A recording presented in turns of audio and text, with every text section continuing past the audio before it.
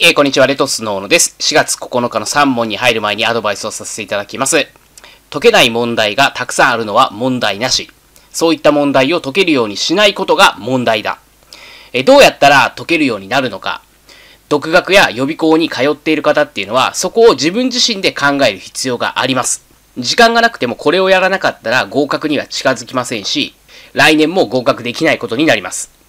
また、合格する人としない人は考えるべき部分、時間をかける部分、これが違うんですね。個別指導ではそういった部分も教えていきます。無駄な部分はそこまで考えなくてもいいですよとお伝えしています。効率的に勉強すれば今年の合格もまだ目指せます。実際個別指導の受講者さんは毎年この時期からでも法律式ゼロから一発合格していきます。今からであれば合格していただく自信ありますので、一緒に勉強して今年の合格を目指しましょう。そして今年の合格発表の時、一緒に喜びましょう。それでは本日の3問に入ります。A が B に A 所有の公土地を売却し、その際、B 所有のオツ土地が売れた時に、B は A に公土地の代金を支払うという条件をつけた。A の代金債権の消滅事項はいつから進行するかという問題です。考えたい方は動画一旦ストップしていただいて、この動画の下の概要欄から問題文ご確認ください。問題文の状況としては、えー、B さんが所有する土地があるんですね。落つ土地っていうのがあって、これが売れた時に、B さんは A に代金を支払う。つまり、B さんは A から高土地を買ってるんですよね。B は A から高土地を買ってます。A がってなってるので、A を主語にしたら A は B に土地を売ってるんですね。高土地を売ってます。つまり B が持っている土地が売れたら B さんは A から土地買いますよっていう条件なんですよ。で、この場合、売った側の A さんの代金債権、つまり A さんが B さんに高土地の代金を取り立てる権利ですね。これの消滅事項はいつから進行を始めるかという内容です。で、答えは B さんの落つ土地が売れた時からなんですね。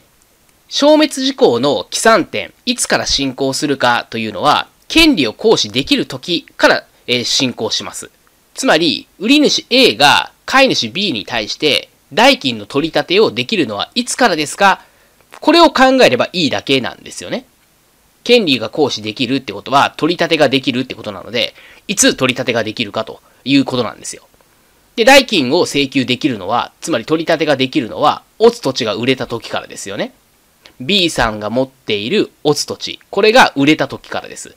なので、A の代金債権の消滅事項は、オツ土地が売れた時から進行をします。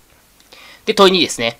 建物の貸借の売買において、当該貸借が借地借家法第38条第1項の定期建物賃貸借である場合は、貸主がその内容を書面で説明した時でも、売買業者は定期建物賃貸借である旨を借主に重要事項として説明しなければならない丸か×かという問題です。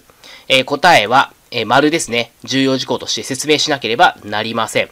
たとえ貸主が説明したとしても、重要事項説明っていうのは媒介業者の責務なんですね。なので、重要事項説明として、ちゃんと借り主に説明しなければなりませんということです。で、ちなみに、定期建物賃貸借っていうのは、更新がない賃貸借契約です。契約期間が終わってしまって、え更新しようと思っても、借り主は更新できないんですね。っていうことは、借り主にとってはこれ重要なことですよね。なので重要事項として説明しなければならないというルールになっているわけです。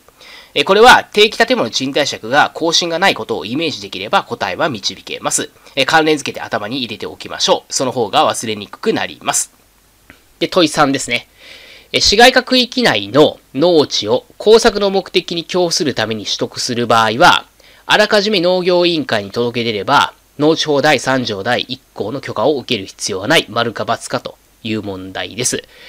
え答えは、え許可を受けなければいけませんので、誤りですね。許可を受ける必要はない。これは誤りです。市街化区域内の工作目的による農地の取得っていうのは、参上許可が必要なんですね。届け出だけで良いという特例は適用されません。え届け出だけでいい特例っていうのは、市街化区域内の特例なんですけども、これは4条5条だけなんですね。3条は含まれないんですよ。なので、3条は原則通り3条許可が必要だということです。で、なんで、えこの特例3条は適用されないのか。えこれ理由付けをして頭に入れると、本試験で迷っても答えをその場で導けるようになります。で、この理由付けが理解学習の一つなんですね。なんで、上記の理由については個別指導で解説していきます。えー、丸暗記学習では本試験で頭が真っ白になって混乱する可能性がありますので、そうならないためにも理解学習ぜひ実践しましょう。で、えー、この動画でですね、えー、理解学習の細かいところまでお伝えしてませんので、ちゃんと理解学習をしたいという方は、もう自分自身で、え理解すべきところを調べていくってことをぜひ行っていただければと思います。で、え自分自身で調べるの難しいっていう方はぜひですね、個別指導ご検討いただければと思います。個別指導の動画については、左上の動画からぜひご覧ください。今日も最後まで動画をご覧いただきましてありがとうございました。宅建合格目指して一緒に頑張っていきましょう。